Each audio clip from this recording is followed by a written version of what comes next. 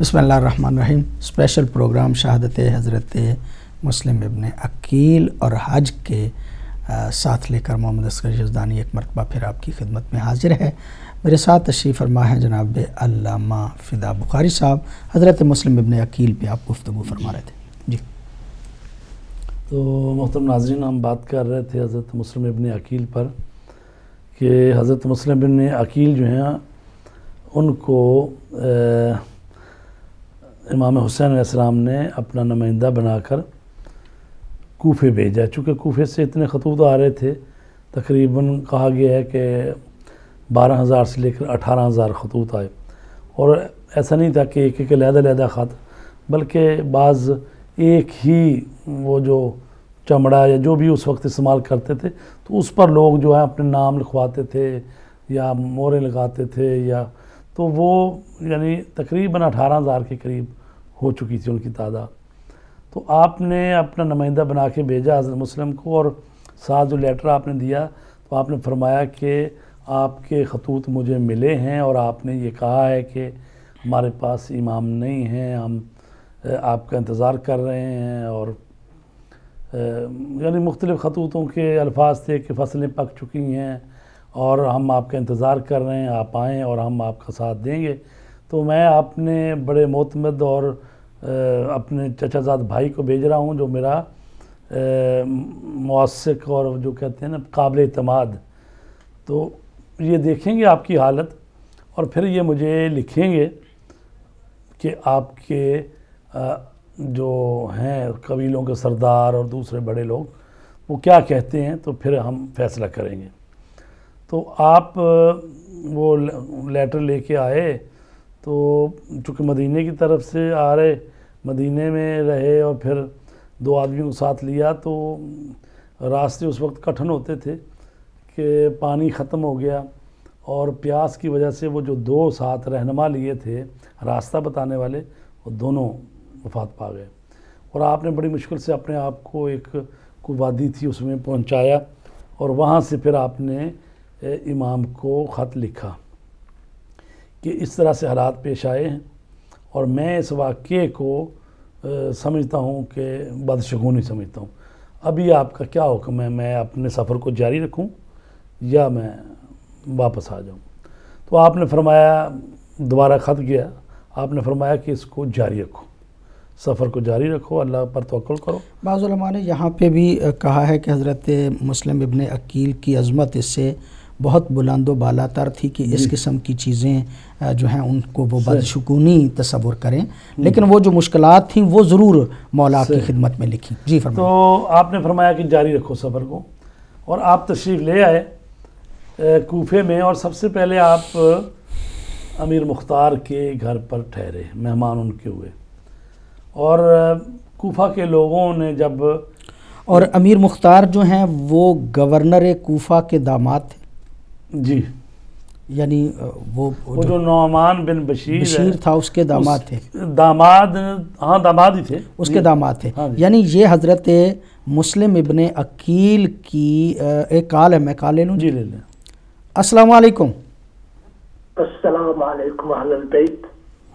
वालेकुम अस्सलाम रहमतुल्लाह कौन भाई कहाँ से जी? ठीक हो?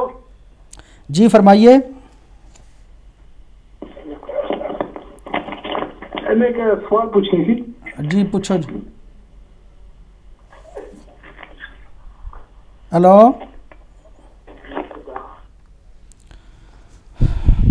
जी तो जी।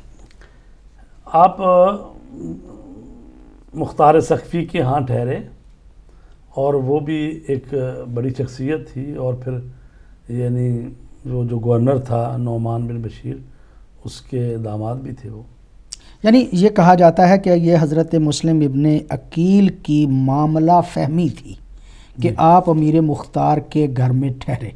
यानी एक तो अमीर मुख्तार की अजमत की दलील थी कि उसके घर को आपने अपना ठिकाना करार दिया। और दूसरा मौला हज़रत मुस्लिम इबन अकील की अजमत और उनकी मामला फहमी थी कि इस घर में मैं ज़्यादा महफूज हूँगा। बजाय इसके कि किसी और घर में और वो वाकन यानी ऐसी शख्सियत थे कि जो और उन्होंने साबित भी किया बाद में कि वो आल मोहम्मद के किस तरह से मानने वाले थे। तो लोगों ने जब इमाम के ख़त को हज़रत मुस्लिम इबन अकील की ज़बानी सुना तो लोग जो है धड़ाधड़ बैत करना शुरू हो गए और कहा गया है कि तकरीबन अठारह हज़ार के करीब लोगों ने बैत कर ली। और आपने जब देखा कि ये हालत है कोफे वालों की तो आपने जो अभी ख़त लिख दिया इमाम हुसैन आसमाम को कि मैं यहाँ के लोग जो हैं वो ए, उन्होंने अठारह हज़ार में बैत कर ली है और ये आपका इंतज़ार कर रहे हैं और आप तशरीफ़ ले आएँ हालात साजगार हैं और ये सब लोग आपके हामी हैं और चाहते हैं कि आपकी इमामत में आपकी रहबरी में वो आगे बढ़े। ये ख़त पहुँच गया। दूसरी तरफ़ ये हुआ कि कोफे में जो कि बनी उमैया के हामी लोग थे, और उनमें ये उम्र साद भी था, इसने भी और दूसरे लोगों ने भी, उन्होंने ख़त लिख दिया यजीद को कि ये तेरा गवर्नर जो है नौमान इबन बशीर जो है चूँकि उसने ये जुमले कहे कि अगर हुसैन का सफ़ीर मुझसे और हमें जो है वो कोई तारुज़ नहीं करता तो हम भी उस पर कोई सख्ती करने के लिए तैयार नहीं है। तो इसके इस रवैये की वजह से नरम रवैया था ना नरम रवैया उसका जो तो जो उसके थे बनी मैया के बही खा तो उन्होंने कहा कि इस तरह से ये तो कोफा हाथ से निकल जाएगा। अगर तुम चाहते हो कोफा तेरे साथ रहे तो फिर इसका कोई बंदोबस्त करो। तो उसने जो जॉन था वो माविया का मशीर था और ईसाई था वो जॉन। जब ख़त गोया इधर से गया शाम। शाम गया और यजीद ने यजीद ने मशवरे से मशवरा लिया। यजीद ने गोया जॉन से मशवरा लिया जॉन से मशवरा लिया। कि मैं क्या करूँ? क्या करूँ? तो उसने कहा कि जो है ना अबैदुल्ला इबन ज़ियाद उसको कूफे का गवर्नर बनाओ। और वो पहले बसरे का गवर्नर ऑलरेडी था। था। बल्कि उसने जो मेरे जहन में आ रहा है जुमला मैं आपकी बात काट रहा हूँ माजरत चाहता हूँ कि उसने कहा कि अगर तेरा बाप माविया वो इसलिए है ना कि उस पहले तो राज़ी नहीं हुआ क्योंकि वो इसको अच्छा नहीं मतलब समझता समझता नहीं यानी नहीं थे। उसने कहा नहीं छोड़ो क्योंकि अबैदुल्ला बिन जियाद भी गवर्न मतलब आ, इसकी सरबराही के मुखालिफ था। वो इसलिए कि चूँकि इसका बाप जो था अबैदुल्ला बिन जियाद का ज़्याद इबन अभी है तो चूँकि उसके बाप का पता नहीं था कौन है तो इसलिए लोग उसको ज़्याद इबन अभी है कहते थे, ज़्याद अपने बाप का बेटा। तो उसकी वल्दियत का खाना खा ली था। तो लेकिन मुआविया इबन अबू सुफियान ने यह किया था, उसने कहा, तू तो मेरे बाप का बेटा है, अबू सुफियान का नुतफ़ है तू। तो लिहाजा पहले वो एक सुमैया नामी ख़ातून और ग़ुलाम जो था अबैदुल्ला तो वो एक ईरानी कनीज़ थी और अब वो रॉयल फैमिली में आ गया। तो माविया ने तो बाकायदा दरबार सजाया और गवाइयाँ हुई और उसके भाइयों ने का उसका अपने साथ मुलहक कर लिया। उस दिन से हो गया कि वो खुदा और रसूल इब्ने अबू सुफियान हो गया। मतलब हुक्म खुदा और रसूल के खिलाफ इसलिए कि पैगंबर की तो हदीस यही है ना कि जिसके बिस्तर पे बच्चा पैदा होता है अलवलदुल फराश। तो ये हुक्म शरीयत के खिलाफ थी ये बात। तो उस वक्त जब मुआविया चाहता था कि यजीद को अपना जानशीन बनाए वली अहद बनाए तो उस वक्त ज़ियाद ने मुखालफत की थी। तो चूँकि ये भी उसका बेटा था तो ये नहीं चाहते थे कि यजीद हो। इसको गवर्नर तो इसलिए वो उस मुखालफत की वजह से वो इसे पसंद नहीं करता। इसे पसंद नहीं करता था। तो अब उसने कहा कि जॉन ने कि अगर तेरा बाप ज़िंदा होता ये देखो मेरे पास उसका उसका हुक्म जो है वो तो तुम लिखा हुआ है कि अगर ऐसी कुछ सूरत पेश आए तो उसको बनाना। तो उसने कहा ठीक है। तो उसने कहा बसरा भी तेरे पास ही है और कोफा भी और जल्दी पहुंचो और जाके हालात ठीक करो और मुस्लिम को या जिंदान में डालो या वहाँ से निकालो या उसको कत्ल करो। जो भी हो सकता है कोफा जो है उसको संभालो। तो अब वो उसने अपने भाई उस्मान को वहाँ पर बसरे में नायब बनाया और ख़ुद पहुँच गया कोफे। कोफे के बाहर शाम को रात के वक्त यानी मगरब की नमाज़ों उस वक्त वो पहुँचे हैं और उसने अपना जो होलिया बनाया था और काले रंग का मामा पहना हुआ है और मुँह छुपाया हुआ। और मुँह छुपाया हुआ है और सात लोग हैं उसके। तो जब वो कूफे के दरवाजे से दाखिल हुए तो लोगों ने समझा कि चूँकि बात तो चल ही रही थी कि इमाम हुसैन इमाम हुसैन इस्लाम आ रहे हैं और उनको ख़त लिख दिया गया है। लोग समझ रहे थे कि इमाम हुसैन आ गए। और लोग जो हैं जिंदाबाद जिंदाबाद कर रहे थे कि ए फरजंद रसूल खुश आमदी जिंदाबाद वो कर रहे थे। तो रश बढ़ता गया बढ़ता गया। जो ही वो गवर्नर हाउस के दरवाजे तक पहुँचा तो उसका एक साथी ने फिर कहा लोगों पीछे हट जाओ ये अबैदुल्ला इब्न ज़ियाद है। नया गवर्नर। नया गवर्नर तो वहाँ पर फिर उसने जब वो दरवाज़ा खटखटाया गवर्नर हाउस का तो वहाँ से ऊपर से उनके मुहाफ़ ने या नौमान ने कहा कौन हो? उसने भी यही समझा था कि इमाम हुसैन तो उसने कहा कि देखो ऐसा ना करो ये मैं तेरे हवाले नहीं कर सकता हूँ। इसकी बात की। तो उसने कहा अबैदुल्ला इब्न ज़ियाद ने कोई कहा कि बहुत देर हो चुकी या रात ढल चुकी को इशारा किया कि भाई मैं अबैदुल्ला इब्न ज़ियाद हूँ। वो समझ गया और उसने दरवाज़ा खोल दिया। तो अब उसने जाके उसको नामा दिखाया कि अब मैं कूफे का गवर्नर हूँ। तो लिहाजा उसको माजूल कर दिया गया। तो उसको कहा गया भी जैसे कहते हैं कि भी रिपोर्ट करो जा यानी मरकज़ी को। तो वो चला गया था वहाँ पर। बाद में वो जब आए हैं उसरा तो वो उनमें वो जो नौमान बिन बशीर था यही था जो फिर वो लेके आया काफ़िले को। तो चूँकि पहले से एक अंसारियों में से था ये और नरम दिल था तो उसकी हुकूमत ख़त्म हो गई और ये अबैदुल्ला आ गया। अबैदुल्ला ने अगले दिन लोगों को मस्जिद में जमा किया और वहाँ पर उसने एक तकरीर की और उसने कहा कि ये यहाँ पर मुस्लिम इब्न कील आए हैं और उन्होंने यहाँ पर आके, जैसे हुकूमतों का काम होता है, फितना फसाद फैला रहे हैं इंतशार फैला रहे हैं और ये दो दस्तगी कर रहे हैं ये इतिहाद के ख़िलाफ़ है। सब जो थे ना बड़े बड़े सरदार उनको कहा कि आप रिपोर्ट करें कौन कौन लोग हैं जो उनके साथी हैं और किधर हैं वो? और जिसने रिपोर्ट ना की तो उसका वो बैतुलमाल से जो शहरिया है वो एक तो वो बंद कर दिया जाएगा।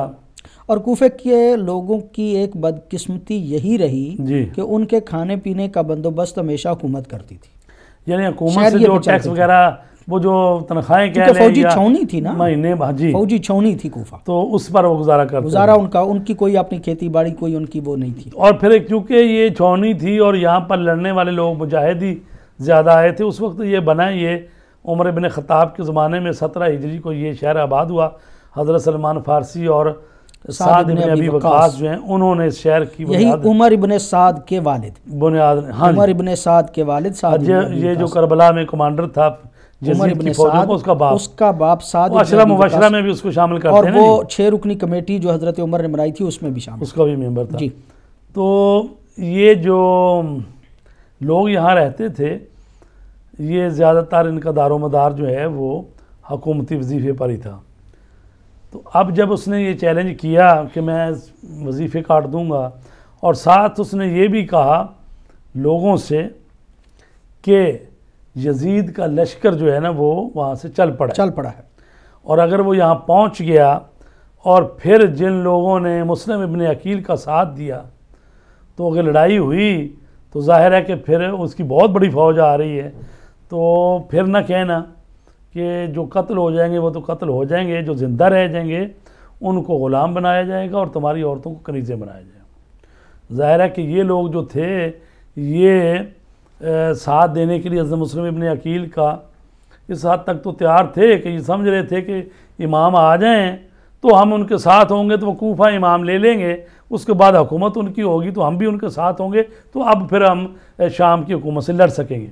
लेकिन जब उन्होंने देखा कि इमाम भी नहीं आए और इस तरह से बात हो रही है कि यजीदी लश्कर आ जाएगा और ये इस हद तक साहिब ईमान नहीं थे कि भाई अगर इनको कुर्बानी देने पड़े, मरना पड़े शहीद होना पड़े या जो है औरतें जिस तरह से कह रहे हैं कि औरतों को कनीज़े बना इस हद तक वो जाने के लिए तैयार नहीं थे।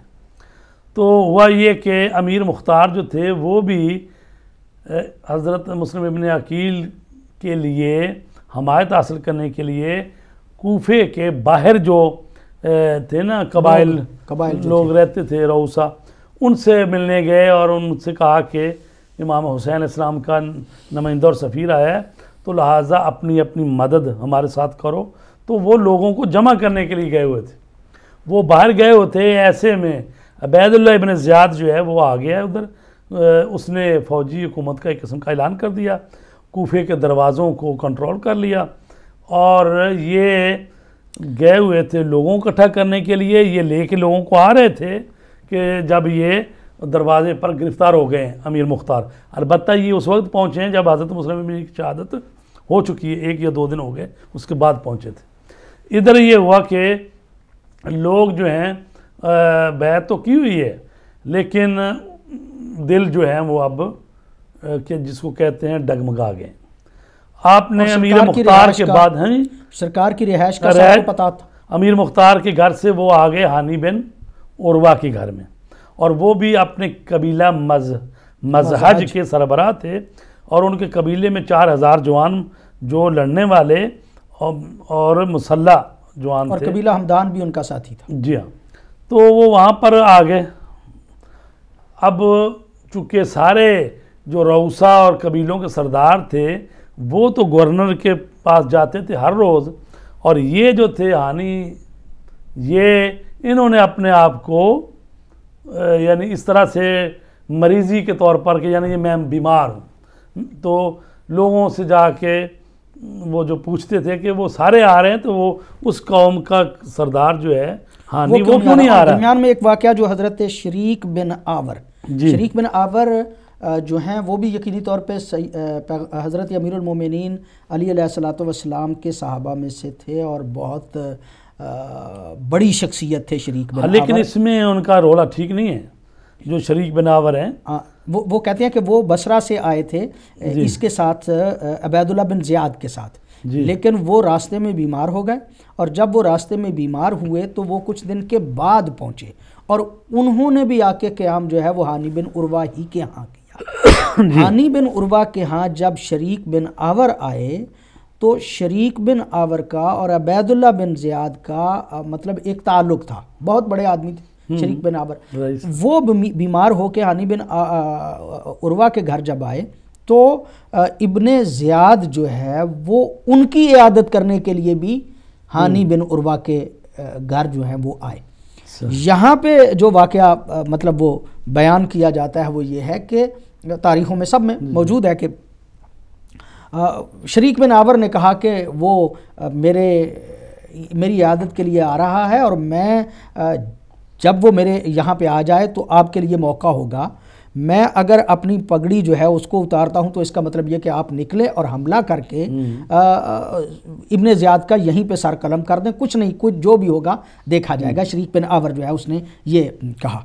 तो सरकार ने यही वाक्य वो हानि के लिए भी नकल किया है। नकल किया गया। तो उन्होंने कहा कि मैं बीमार हूँ मेरी आदत के लिए आएगा। क्योंकि हानि जा नहीं रहे थे ना उधर वो तो बाद में मैं आता हूँ पहले शरीक जी। बिन आवर जब अ, मतलब वो आया और शरीक बिन आवर की अ, जो है वो करके जो है वो जाने लगा तो उसने कई मरतबा मतलब अशार भी पढ़े और कहा कि क्या हो गया है? मुझे पानी क्यों नहीं पिलाते? शराब क्यों नहीं करते? तो उससे इबन इब्ने ज़ियाद के उस गुलाम को कोई शक पड़ा और वो जो है वो चला गया। तो मैं जिस बात के लिए असल में ये वाक़ अर्ज़ करना चाह रहा था वो ये था कि उसके बाद हज़रत मुस्लिम जब बाहर आए तो शरीक बिन आवर ने कहा कि आपने क्यों नहीं सर कलम किया इब्ने ज़ियाद का? तो वो अच्छा तारीख मौका था। बहुत अच्छा मौका था। वो तारीखी जुमला जो हज़रत मुस्लिम इब्ने अकील और ख़ानदान बनी हाशिम की अज़मत की दलील है। मैं समझता हूँ कि बहुत कमाल है कि हज़रत मुस्लिम फरमाते हैं कि हमारे ख़ानदान का शेवा ये नहीं है कि धोखे से किसी को कत्ल कर दिया घर आए मेहमान घर आए को, मेहमान को धोखे से कत्ल कर दिया जाए। एक तो मेज़बान का मुझे ख्याल था और दूसरा घर की एक औरत ने भी हमें कहा कि हमें मुश्किल में ना डालो इसलिए कि अगर हमारे घर में इब्ने ज़ियाद कत्ल हो गया तो फिर हमारे आ, जो है वो परेशानी हो जाएगी। काल एक ले लूँ जी। अस्सलाम वालेकुम अलैक्म अलैकुम अस्सलाम रहमतुल्लाह मैंने एक बात पूछनी है अगर आज दें तो। जी फरमाइए कौन भाई कहाँ से जी? अलैक्म मैं ज़फ़र बोल रहा हूँ जी ब्रिस्टल से जी फरमाइए।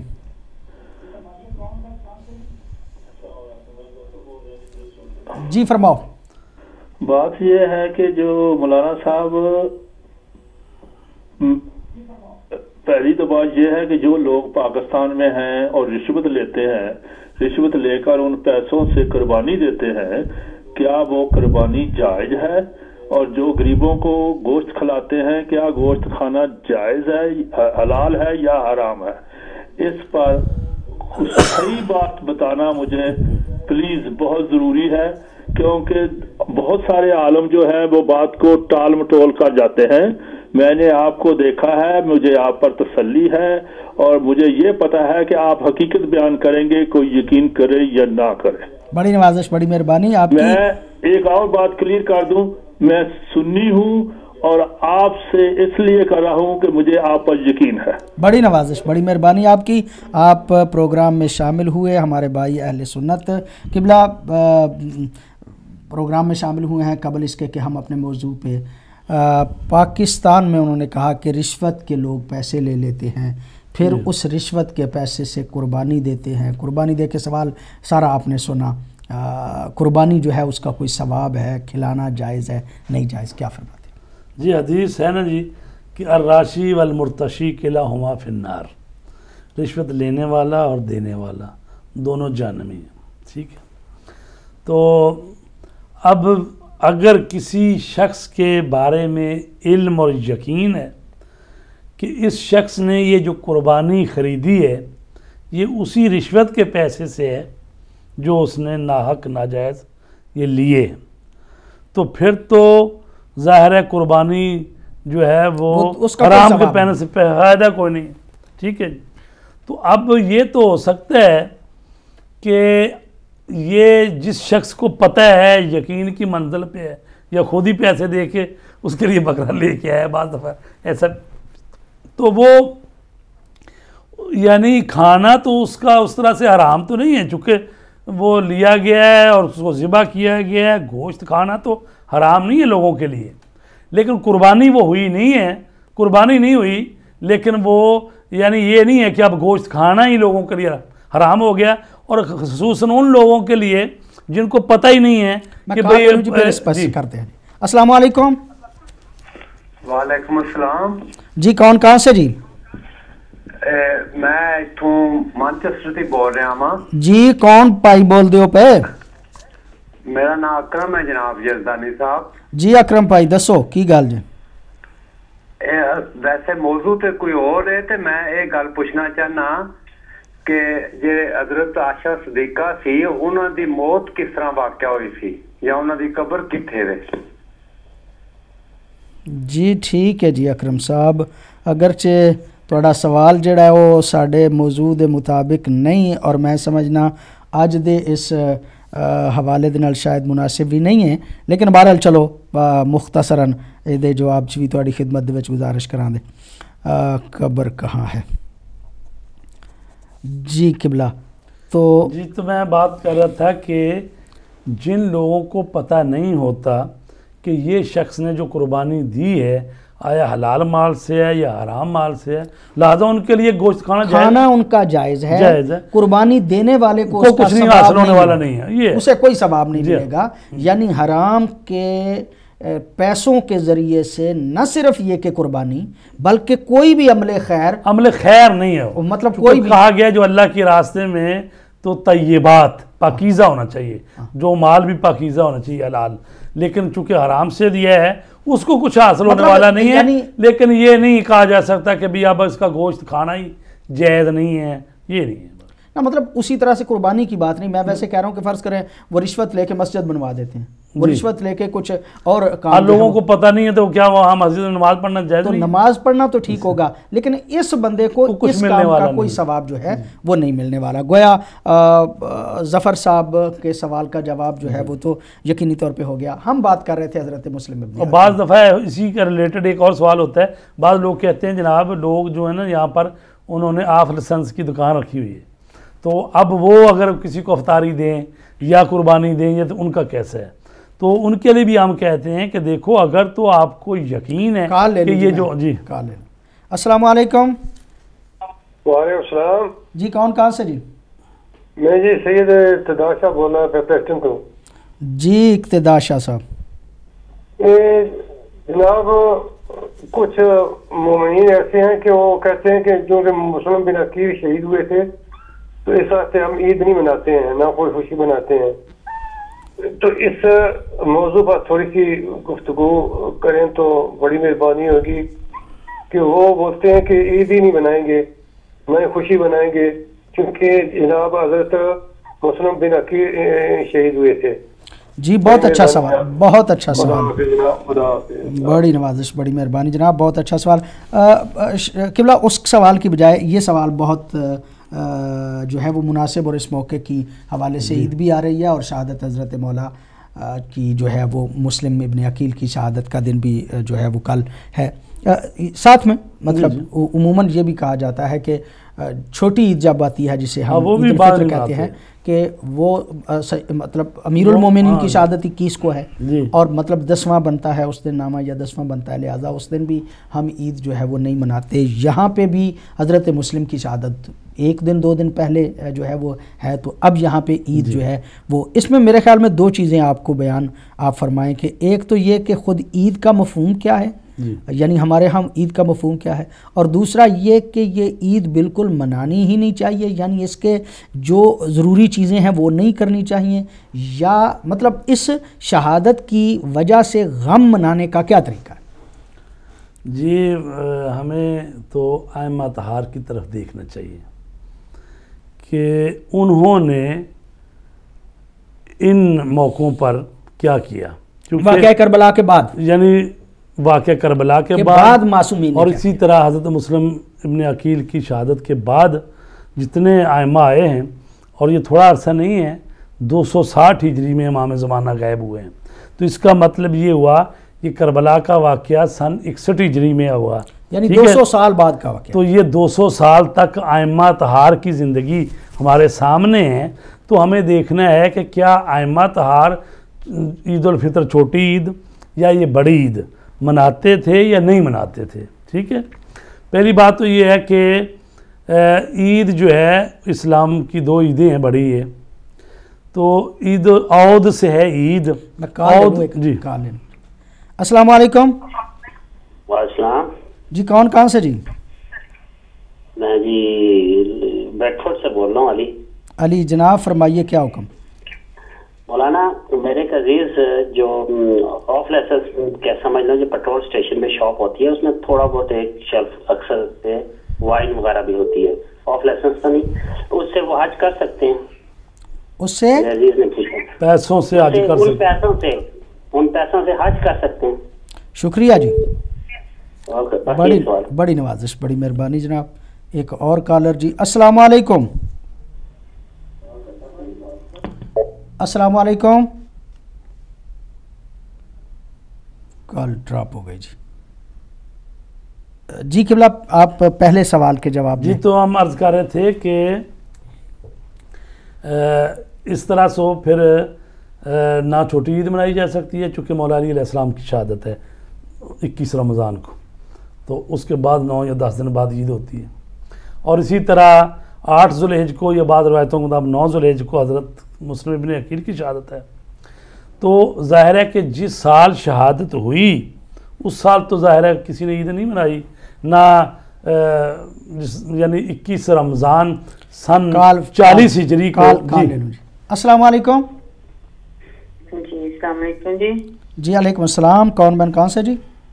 जी, मैं फातिमा हूँ लंदन से। मुझे मौलाना साहब ये पूछना था कि जैसे कुर्बानी के पैसे हम पाकिस्तान में भेज देते थे हर साल तो अगर हम चाहें यहाँ तो किसी इमाम बारगाह में या किसी मस्जिद में डोनेट कर सकते हैं कि उसकी तमीर हो रही और हम कुर्बानी के लिए उनको दे दें और वो उन पैसों से कोई मरम्मत या इमारत या कोई बिल्डिंग बनाने में या कोई भी ऐसा काम हो जिसमें हो सकता है या कि सिर्फ़ बकरा ही देना होगा।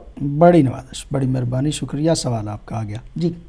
जी तो हम अर्ज़ कर रहे थे कि ये तो बात मुसलम है कि यानी सन चालीस हिजरी में जब मौला अली की शहादत हुई है तो ज़हरा आठ दस दिन बाद ईद आई तो वो तो ईद किसी ने नहीं मनाई।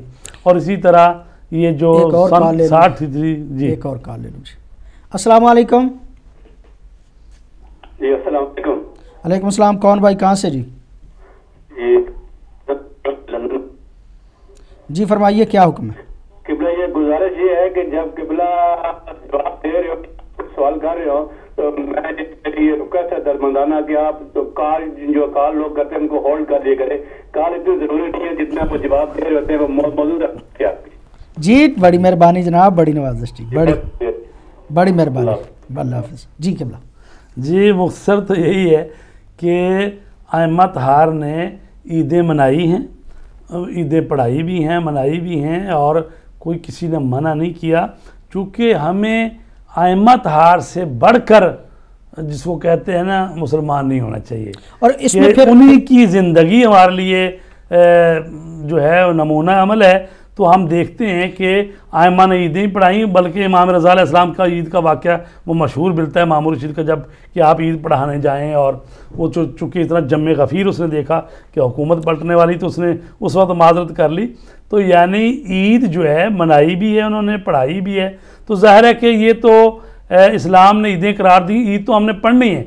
और इसी तरह हुक्म है कि नए कपड़े पहनो, खुशबू लगाओ, अच्छे लिबास पहनो, अगर नए नहीं पहन सकते, पाकिज़ा लिबास पहनो खुशबू लगाओ एक दूसरे की मेहमानी करो जाओ आओ तो ये सारी चीज़ें तो मौजूद हैं।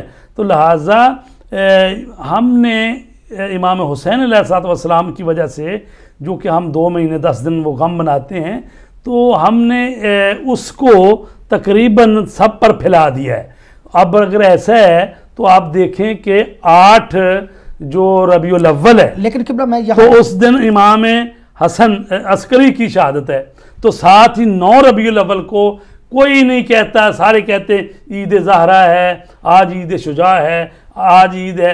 तो नौ रबी अव्वल को जिस तरह हमारी कौम जश्न मनाती है तो क्या एक दिन पहले इमाम हसन अस्करी की शहादत नहीं है आठ रबी लेकिन एक बात मैं तो मतलब ये है कि ये इस्लाम के जो दिन मुकर्र हैं तो इसीलिए हम जिस दिन शहादत है वो शहादत मना लेते हैं। और अगर अगले दिन जो है ईद आई है तो उसको ईद मनाते हैं और यही तरीकाकार आयमा का रहा है। लेकिन लेकिन मैं जो बात एक की तरफ़ आपकी तवज्जो दिलाना चाह रहा था मतलब ईद उल फित्र पे भी और ईद उल अजहा पे भी। ज़्यारत इमाम हुसैन अलैहिस्सलाम पढ़ने का हुक्म है। मतलब मुस्तहब ये है कि ज़्यारत पढ़ी जाए।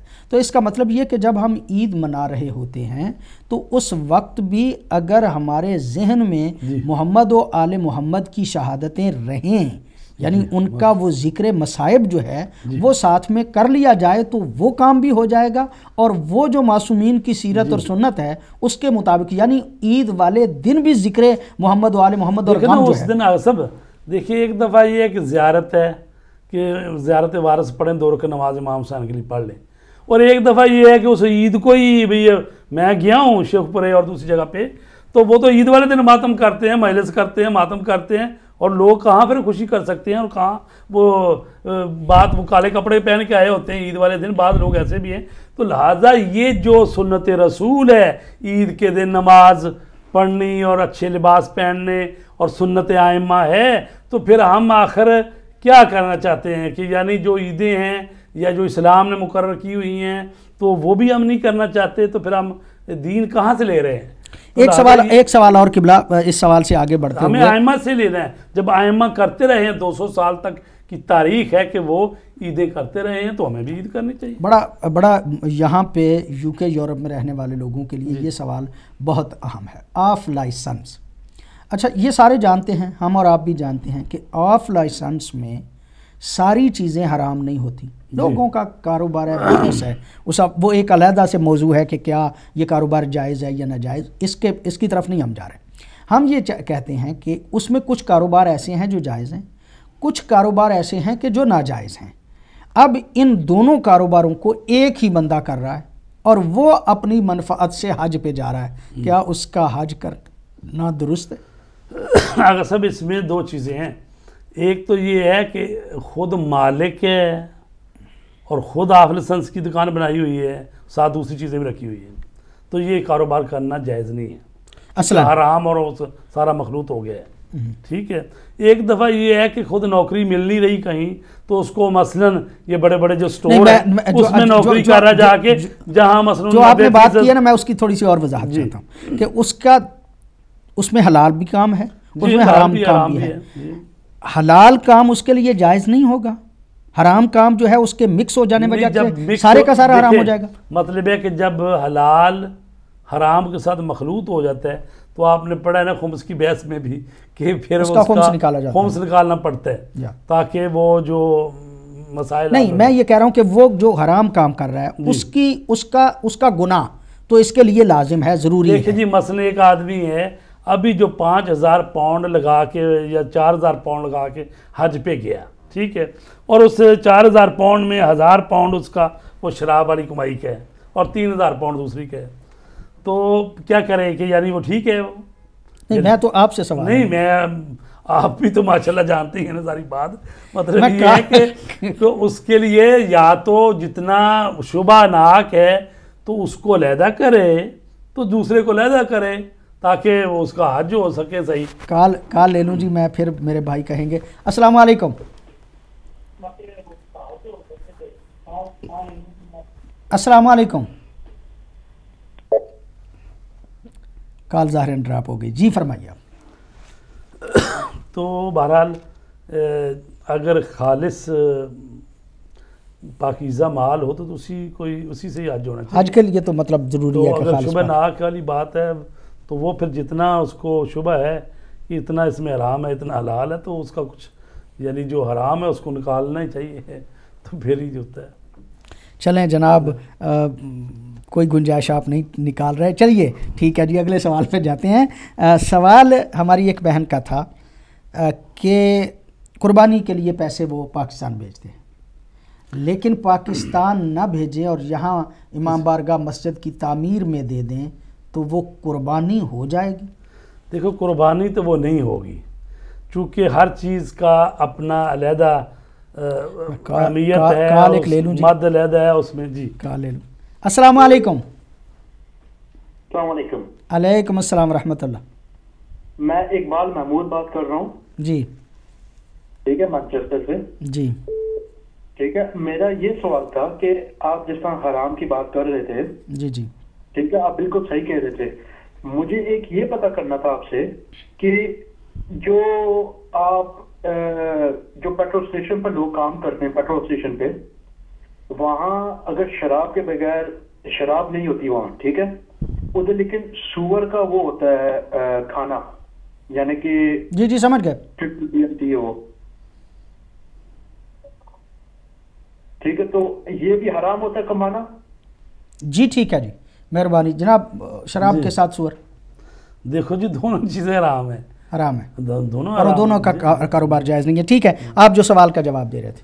तो देखें आज जो है ना जी कुर्बानी अगर वो कुर्बानी करेंगे तो कुर्बानी का स्वाब होगा ना जी। और फिर ये भी है कि कुर्बानी फ़िका जाफरिया में जो हज पर जाते हैं लोग उनके लिए वाजिब है। बाकियों के लिए सुन्नत मुआदा है। यानी बहुत ज़्यादा ताकीद की गई है कि कुर्बानी करो अगर कर्ज़ा लेकर भी करनी पड़े तो करो अल्लाह बरकत देगा। लेकिन अगर कोई कहे कि मैंने पैसे इमाम बारगाह की तामीर में देने हैं तो क्या मेरी कुर्बानी हो जाएगी? कुर्बानी नहीं हुई वो। अलबत्त इसका स्वाब है जो आप मदद कर रहे हैं या किसी अंजमन को या कहीं अ, किसी को दे रहे हैं तो वो उसका अपना स्वाब है लेकिन कुर्बानी नहीं होगी। कुर्बानी तभी होगी जब कुर्बानी आप यानी बड़ा वाजे जवाब ये है कि पैसे अगर वो यहाँ पे देना चाहते हैं तो उसका डोनेशन के एतबार से सवाब है। हाँ जी। लेकिन वो ये समझे कि हम कुर्बानी दे रहे हैं यहाँ पे हाँ, तो कुर्बानी कुर्बानी नहीं उनकी नहीं है। कुर्बानी तभी होगी अगर उसका बकरा या जो भी अगर मन्नत मानी हुई है कि मसलन ये काम हो जाए तो, मैं मैं, कुर्बानी दूँगा फिर होगी वाजिब। हाँ। तो अब वो सिर्फ़ कुर्बानी हो सकती है किसी दूसरी जगह पैसे नहीं वो दिए जा सकते। अगर वो मन्नत मान के कुर्बानी वाजिब कर ली अपने ऊपर। बड़ी नवाजश। जनाब किबला सवाल जो इस वक्त तक मेरे पास आए थे उनके जवाब इख्तिसार से हमने दिए। हज़रत मुस्लिम इबन अकील। तो हज़रत मुस्लिम इबन अकील जो हैं वो चले गए हानी इबन उर्वा के घर के में। घर। और वहाँ जब चले गए तो उसने जो गवर्नर था उसने हानि को अपने दरबार में तलब किया। इससे पहले मतलब हानि के घर में हज़रत मुस्लिम की तलाश में काल जी फिर कहा जा रहा है। अस्सलाम वालेकुम। वालेकुम अस्सलाम मौलाना साहब। जी अलैकुम अस्सलाम। शाह साहब को भी सलाम अलैकुम जी वालेकुम अली जान साहब। मौलाना साहब मेरा सवाल आपसे ये है कि कुरान पाक में आयत तताहीर है कि हर रिज से अल्लाह ने दूर रखा आले मोहम्मद को। तो ये हराम माल जो हो जाए उस हराम से खुमस कैसे निकलता है? कौन सी आयत या कौन सी हदीस है जिसके तहत आप ये कहते हैं कि अगर माल हराम का हो या मिक्स हलाल और हराम हो जाए तो उससे खुमस निकाल दे तो पाक हो जाएगा। ये रिज है ये रिज आप आले मोहम्मद के खाते में कैसे डालते हैं? जी ठीक फरमाएँ। बड़ी नवाजिश बड़ी मेहरबानी। बड़ा अच्छा सवाल अली जान साहब का। आ, इस पे जो है वो बात करते हैं। वही जो आप मतलब हज़रत मुस्लिम इब्ने अकील जब वहाँ पे हाँ, हानि इब्ने उर्वा के घर में रहे तो वहाँ मख्फी तौर पे रहे अल ऐलान नहीं रहे। और यहाँ पे हज़रत मुस्लिम इब्ने अकील का पता करने के लिए अबैदुल्ला ने अपना जो एक गुलाम अपना एक गुलाम एक जासूस जो है माकल जी। माकल जो है उसको भेजा और वो सुबह शाम की सारी डायरी जो है उस तक पहुंचाता रहा। यानी उसे बड़ा दिलचस्प वाक्य है। जी जी। कि उसने कहा कि आपको पता कैसा चलेगा? उसने कहा कि जब मस्जिद में जाओगे ना तो जो लंबी लंबी नमाजें पढ़ते हैं ना वो शिया होते हैं। तो वो अहले बैत के जो ज़्यादा मतलब हाँ। व खुशू से पढ़ रहे होंगे। तो वो अब वो देखता था तो ऐसे में वो मुस्लिम इब्ने औसजा को उसने देखा। तो वो लोग चले जाते हैं नमाज़ पढ़ के मुस्लिम तो इब्ने? मुस्लिम इब्ने औसजा। औसजा। जी। तो उसको उसने कहा कि मैं दूर और ये हज़रत मुस्लिम इबन अकील की तरफ़ से यानी खजाने के इंचार्ज थे। जी तो कहने लगा कि मैं आया हूँ दूर से और मुझे पता चला है कि इमाम हुसैन के सफ़ीर इधर आए हुए हैं। और मेरे पास चार हज़ार है। तो मेरे पास कुछ सहम में इमाम में से कोई रकम है चीज़ यानी खुम्स की रकम है तो मैं ये देना चाहता हूँ। वो तीन हज़ार या उससे कम बेच था उसके पास। तो अगर मुझे आप उनके पास ले चलें तो इस तरह उसने अतमाद में लिया। तो वो मुस्लिम बिन औसजा उसको अबैदुल्ला के ये जसूस को माकल को। माकल को लेके आ गए मुस्लिम इब्ने अकील की खिदमत में। और वहाँ उसने आके वो पैसे दिए और वो पता नोट करके और सब समझ के कि भी ये यानी सुबह आ जाता था और शाम तक वहीं रहता तो था। वो साथ हर आने जाने की देखता रहता था कि इसके पास कौन कौन से लोग जो कबीलों के सरदार वगैरह वो आते हैं। तो उसने जाकर रिपोर्ट की, वो तो वहाँ पर ठहरे हुए हैं। अब उसने हानि को बुलाया और उसने कहा कि मेरे हवाले कर दो मुस्लिम इब्ने अकील को। पहले तो उन्होंने कहा भी कहाँ है मुस्लिम इब्ने अकील? तो वो तोरिया करने की कोशिश की उन्होंने। तो उन्होंने कहा कि ये देखो, बुलाओ भी, माकिल को बुलाओ। उस, वो सामने आ गया। उसने कहा कि, अब बताओ, तेरे घर हैं कि नहीं? तो फिर उन्होंने कहा कि मैं क्या करता? वो मेरे घर में मेहमान की हैसियत से आए हैं और हम अपने मेहमान को कभी भी रसवा नहीं करते। रसवा नहीं करते और या मेहमान को वापस नहीं करते। जी हाँ। तो अब उसने फिर उसको मारा और उसके नाक जख्मी हो गई और उसको पकड़ के उसने बंद कर दिया जिंदान में। अब उसके जो कबीला था उनको पता चला तो वो गवर्नर हौसलों ने घेर लिया। तो ऐसे में उसने क्या किया कि वो जो काजी शुरय था उसकी उसने मदद हासिल की। उसने कहा तुम जाओ जाके लोगों से कहो कि वो बिल्कुल ठीक ठाक है वो तो वैसे ज़रा थी नज़रबंदी में हमने रखा हुआ है। तो कोई बात नहीं तो वो ज़िंदा है जाओ। वो लोग बाहर नारे लगा रहे हैं कि हमारे सरदार को और ये जज है चीफ जस्टिस है और ये जज है। और ऐसे ही होता है हुकूमतों के साथ जब अदलिया भी साथ मिल जाए तो वो जाके उसने कहा कि नहीं वो तो बिल्कुल ठीक ठाक है मैं गवाही देता हूँ। वो ज़िंदा हैं जाओ आप। तो वो वापस चले गए। और ऐसे में फिर हज़रत मुस्लिम इब्ने अकील जो हैं उन्होंने जब खरूज किया तो तकरीबन चार हज़ार के करीब उनके साथ लोग थे। जबकि इब्तदा में अठारह हज़ार ने जी पहले अठारह हज़ार थे फिर जिन लोगों ने खरूज किया उनके साथ मिल के चार हज़ार थे और सारा दिन उन्होंने गवर्नर हाउस के सामने रहे। साथ ही वो मस्जिद कोफा थी। तो हुआ क्या कि उनके अबैदुल्ला इब्न ज़ियाद के लोगों ने, लोगों में ये मुनादी करा दी, यजीद की फ़ौज आ रही है, तुम्हारी औरतों को गिरफ़्तार किया जाएगा, कनीज़ें बनाया जाएगा, तुम्हें मारा जाएगा, तुम्हें ग़ुलामी में ले लिया जाएगा। इस तरह के जब प्रोपोगंडा शुरू हो गए तो ख़वातीन आनी शुरू हो गई तो वो हज़रत के लश्कर में जो लोग थे तो वो कह, तुम घर चलो, तुम क्या कर रहे हो यहाँ पर? बड़े लोग हैं इनका साथ देने के लिए। और भी बहुत सारे लोग हैं। करते करते वो ख़वातीन और घर वाले लोग जो हैं उन जो मुजाहिद थे जो लड़ने वाले एक एक करके लेते एक एक करके लेते जाए। ऐसा हुआ कि जब नमाज़ मगरब का वक्त हुआ और आप नमाज़ पढ़ाने के लिए मस्जिद कोफा में गए तो तीस आदमी रह गए नमाज़ के वक्त। और जब नमाज़ पढ़ के फारग हुए तो मस्जिद के दरवाज़े पर तीन आदमी रह गए। और आपने फरमाया कि जिस तरह से तुम लोगों ने मेरे साथ बेवफाई की है और अहद को तोड़ा है तो फिर मुझे अब ऐसा है कि कोई मुझे रास्ता बता दे कि चूँकि कोफे के दरवाज़ा बंद हो चुके हैं, जो मेन गेट है तो कोफे के एक तरफ़ से पीछे की तरफ़ से वो बाहर जाया जा सकता था। उनको मालूम नहीं था तो मेरा मुझे रास्ता बताओ। तो अब मुझे यहाँ से निकलना है। तो ऐसा हुआ कि भाई एक जो थी गली, उस पर वो एक आदमी और पीछे रह गया। हती के दो मोड़ मुड़े हैं तो कोई भी साथ उनके नहीं है।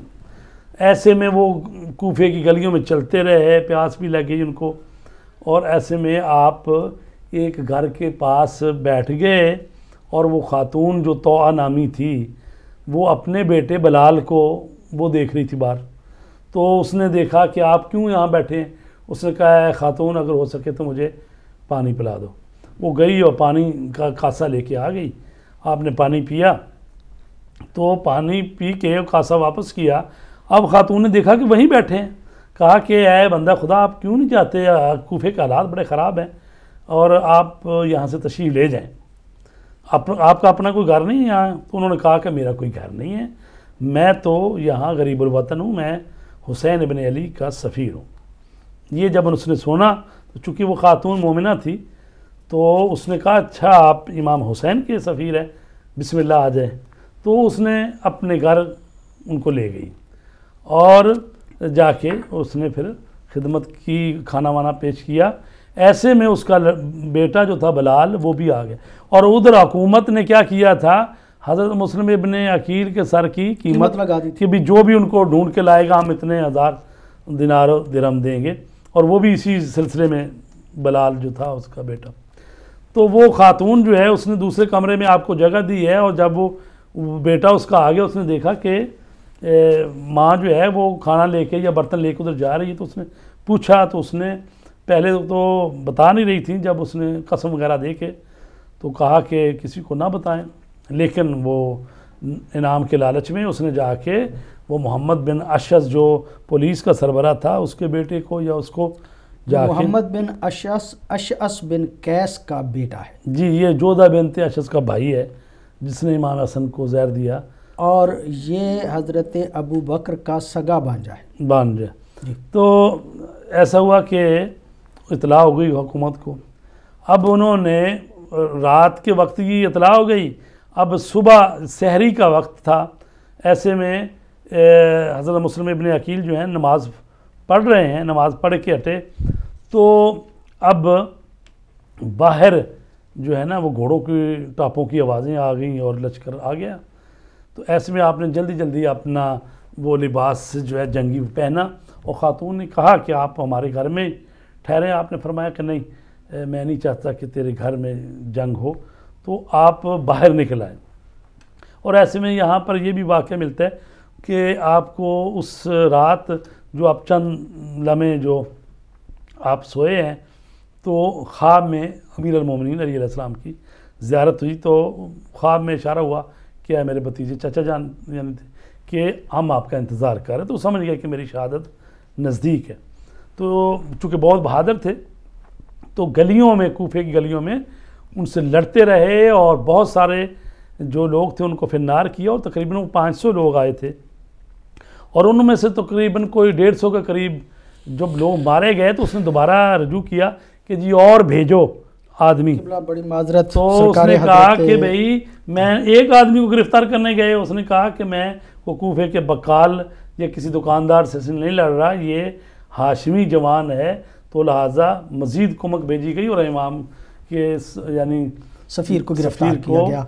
माजरत चाहता हूँ प्रोग्राम का चूँकि टाइम ख़त्म हो गया आखिर पे इतना ही अर्ज़ करूँगा किबला ने बहुत अच्छे अंदाज में और हमारे भाई अली जान साहब का सवाल उसका जवाब जो है वो रह गया चूँकि आज हज़रत पूरा।